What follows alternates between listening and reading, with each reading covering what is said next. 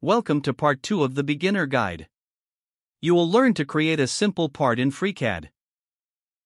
Create a new document. You can do that with this button. Make sure the Part Design workbench is selected. As a beginner, this workbench is good to start with.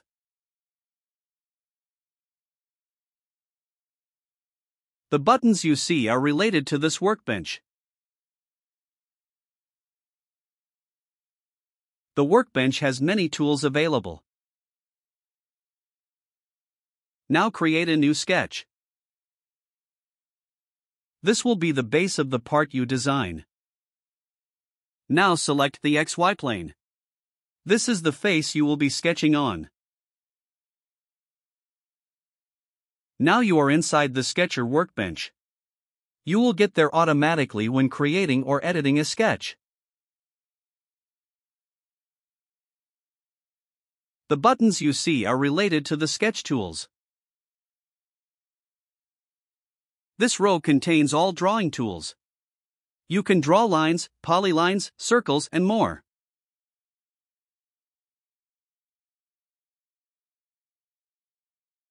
Select the rectangle button. Then draw this rectangle. Click once to start drawing and again to place it. Click right mouse button to exit the rectangle tool. Now select this horizontal line by clicking left mouse button. This row contains all constrain tools. Constraints are tools to fix sketch lines so that they can't move anymore.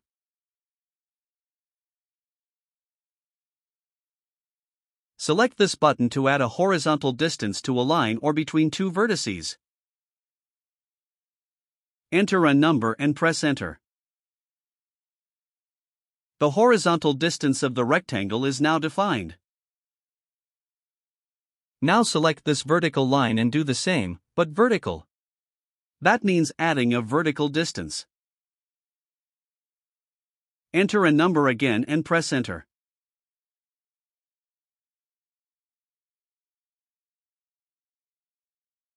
The rectangle is still free in two directions, x and y. It's called degrees of freedom. Click here to highlight free movable sketch parts you see the four vertices are highlighted. Click left mouse button to cancel the highlight. Select these two vertices and then the origin. Hold Ctrl before you click on each vertex to make a selection of multiple vertices.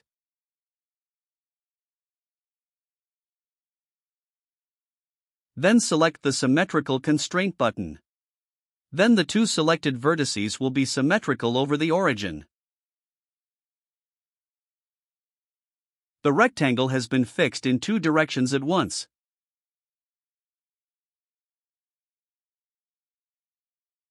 You can exit a sketch with two buttons.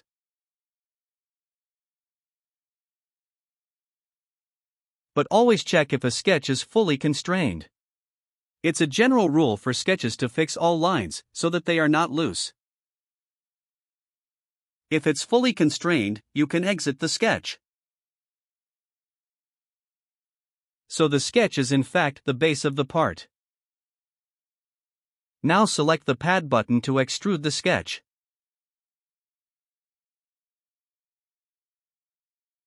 You can enter a distance to define the thickness. See how the thickness is changing?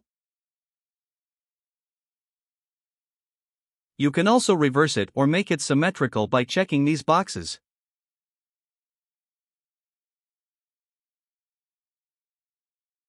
Here's a tip. Select the origin planes and press spacebar to make them visible. You see it's now extruded symmetrical. Uncheck the box to undo this. Also hide the origin planes. Press spacebar again after you selected it.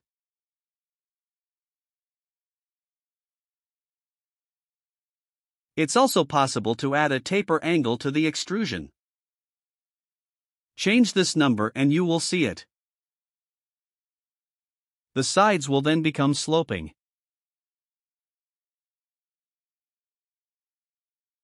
You can quickly switch to an isometric view with the navigation cube. Set the taper angle back to 0 degrees. Now click the OK button. The next step is making the four corners round. Select the corners while holding Ctrl. Make sure to press Ctrl before selecting a corner. Hold Ctrl and click left mouse button on the corner line. Yes, like that, you're doing great. Select this button when you want to round corners. Enter a radius here. You see it's increasing. Here you can see which corners are selected.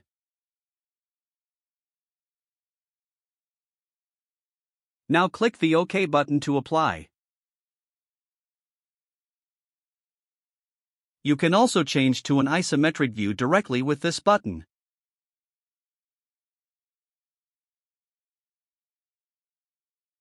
The next thing you're going to do is adding a hole in the center. You will use the earlier sketch for that. First expand the extrusion, better known as pad. There you will find the sketch you need. Double-click the sketch to edit it. Now you're inside the same sketch you already made. You can edit it anytime you want. Now select the Circle tool. Draw the circle at the origin. Right-click to exit the tool. Select the circle and add a diameter. Use the arrow if you can't find the diameter button.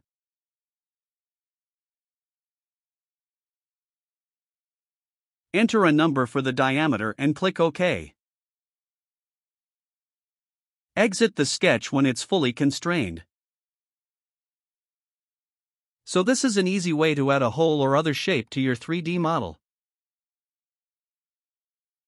Remember all features are placed inside a so-called body here. The body was created automatically with the first sketch. Select it and press F2 to rename it. Then enter the name you like.